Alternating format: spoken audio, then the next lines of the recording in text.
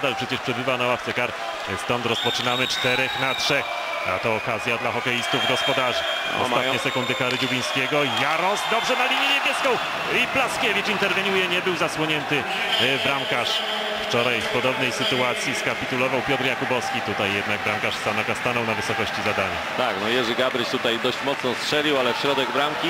No, spadł kask Krajczemu. Powinien zjechać, nie może Iwicic. podjąć gry. Będzie kara dla Krajczego, tak jest. Za włączenie się do gry bez kasku. No, myślę, że tutaj jakaś luka wiedzy w przepisach zawodnika Aksamuni powoduje to, że otrzyma on karę. No, nie- absolutnie nie może podjąć gry zawodnik, który nie ma kasku na głowie. A zawodnik wyraźnie zmierzał do akcji i podejmował grę. No, wcześniej widzieliśmy raz jeszcze w powtórce to uderzenie e, Martina Iwicicza. E, Niewiele brakowało, aby po raz kolejny rozstrzygnął o losach spotkania w dogrywce, tak jak wczoraj e, w półfinale z GKS-em Tych. No, lekko rzeczywiście zaskoczony.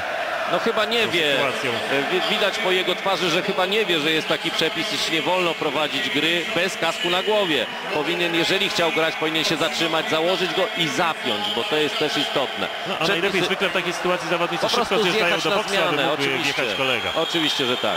E, Robert Krajczyk tak nie uczynił, stąd słuszna jak najbardziej kara dla tego słowackiego e, napastnika Unii.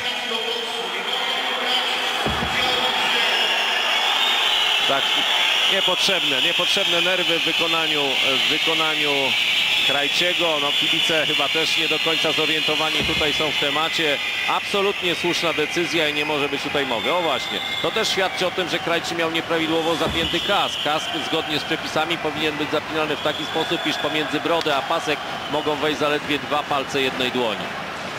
Zaatakował go ostrociałem Krystian Dziubiński, który kilka sekund wcześniej powrócił na lód. No i teraz e, czterech na trzech grają Sanoczanie. E, Martin Wozdecki, Martin Wozdecki. e, Do Krzysztofa Zapały, strzał z ostrego kąta. Mija jednak jakoś oświęcimską bramkę. Zoltan Kubat po bandzie na drugą stronę do Zapały. Utrzymują krążek w strefie ataku goście. Martin Wozdecki spokojnie. Wozdecki do Zapały. Natychmiastowa decyzja. Przestrzelił jednak napastnik Sanok. E, Martin Iwicic, Wozdecki, no kopia tej akcji e, sprzed e, kilku sekund. E, Krzysztof Zapała, tym razem jednak nie kończy akcji strzałem do Wozdeckiego. Tam czeka na strzał Martin Iwicic z drugiej strony. Czy poda do niego Wozdecki? Jest Iwicic! Nie ma gola.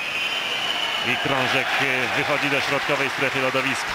Martin Wozdecki, kolejna akcja drużyny Sanockiej, minuta i 10 sekund do zakończenia przewagi liczebnej zespołu gości. Martin Wozdecki ofiarnie broni się trójka Oświęcimia. Krążek znów gdzieś tam ponad e, bramką Krzysztofa Zborowskiego.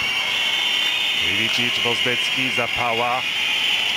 Też już troszeczkę wolno, ten krążek jest rozgrywany. Widać wyraźnie, że zawodnicy Stanoka są też zmęczeni i brakuje precyzji w oddawaniu strzałów. No ale nie mogą wyjść z własnej strefy obronnej hokeiści Unii. Martin Wozdecki, on tutaj główny rozgrywający, teraz uderzył. E, Zasłonięty był Zborowski przez e, Zoltana Kubata, ale zdołał odbić krążek. I ponownie Wozdecki, Martin Wozdecki. Bardzo dobra ofiarna interwencja Patryka Flaszara. 30 sekund kary jeszcze na zawodnika Unii. E, Krzysztof Zapała, nadal ta sama czwórka. I gol! Martin Wozdecki i Puchar Polski pojedzie do Sanoka. Ogromna radość, wyjechała z boksu cała drużyna. Zniknął gdzieś teraz w objęciach swoich kolegów Martin Wozdecki, 32-letni czeski napastnik drużyny sanockiej. Absolutne szaleństwo w zespole sanockim. Również e, kibice Sanoka, którzy e, w liczbie kilkudziesięciu przyjechali na to spotkanie, rozwinęli flagi świętują zdobycie po raz pierwszy Pucharu Polski przez zespół KH Ciarko Sanok. A my raz jeszcze oglądamy powtórkę tej ostatniej rozstrzygającej akcji. No, dzielnie bronili się przez y, minutę i 37 sekund hokeiści Unii, grając w trójkę przeciwko czwórce rywali, ale jednak Tak, no potężne Nie bombardowanie, bram, potężne bombardowanie bramki Krzysztofa, Krzysztofa Zborowskiego trwało właśnie podczas tej przewagi. Wyraźnie już e, zmęczeni Oświęcimianie nie byli w stanie przejąć krążka i w